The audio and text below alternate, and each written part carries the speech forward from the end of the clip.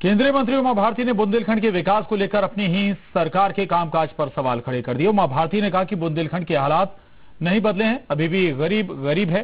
बुंदेलखंड में पिछड़ापन है और बहुत परेशानी है। बुंदेलखंड की हालत अभी भी पिछड़े इलाकों जैसी है उमा भारती ने सीएम शिवराज सिंह चौहान के उन दावों पर भी सवाल खड़े किए हैं, जिनमें वो कहते हैं कि एमपी की सड़कें अमेरिका की सड़कों से भी बेहतर हैं। उमा भारती ने कहा कि मध्य प्रदेश के तमाम इलाकों में सड़कों की हालत बेहद खस्ता है। उन्होंने कहा कि बुंदेलखंड में बहुत इंप्रूवमेंट करने की ज़रूरत है। उमा भारती के इस बयान के कई मायने निकाले जा रहे हैं। मध्य प्रदेश का बुंदेलखंड और उत्तर प्रदेश का भी। अभी बहुत गरीबी है, बहुत पिछड़ापन है, बहुत परेशानियाँ हैं। बुंदेलखंड की हालत वैसी ही है, जैसी कि हिंदुस्तान के सबसे पिछड़े इलाकों में इसकी जो सूची में जो था, ये वो स्थिति अभी बरकरार है और बहुत दुखद है। बड़ी बड़ी जगहों से कुछ रोड निकल गए हैं, वो हेलीकॉप्टर से मुझे दिखे। लेकिन जो इंटीरियर के गाँव हैं, उनके रोडों की हालत भी बहुत खराब है, यूपी की भी और एमपी की भी। और एमपी की भी, पहले मुझे लगता था कि एमपी बेहतर हुआ, लेकिन जो चंद्रा विधानसभा का बॉर्डर पर जब मैं पहुँची, छतरपुर ज़िले में तो मैंने बहुत बुरा हाल देखा।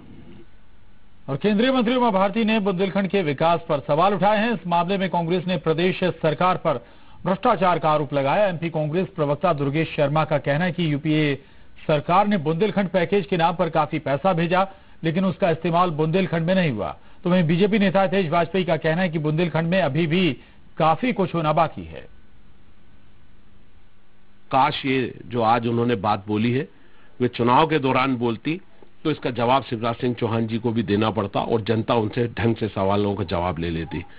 भ्रष्टाचार में बुंदेलखंड पैकेज तो बर्बाद कर ही दिया है, खत्म कर दिया है, और बुंदेलखंड का विकास नहीं हुआ है। उमा जी से अनुरोध करूँगा विनम्रता से कि अब बोला है तो मैदान में आइए और उसके लिए संघर्ष करिए कि जो मनमोहन सिंह जी ने पैसा दिया था बुंदेलखंड विकास का, उसका सदुपयोग स्वाभाविक है कि अभी बहुत काम होना बाकी है।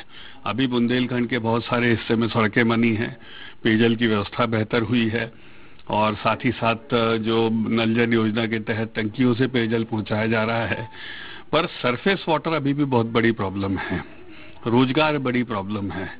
तो स्वाभाविक है कि अधोसंरचना विकास जब तक नहीं होगा, तब तक रोज़गार के अवसर वहाँ क्रिएट नहीं होंगे। उसके लिए बहुत बड़ा हरकुलियन टास्क करने की ज़रूरत है और सरकारें उसमें लगी हुई है।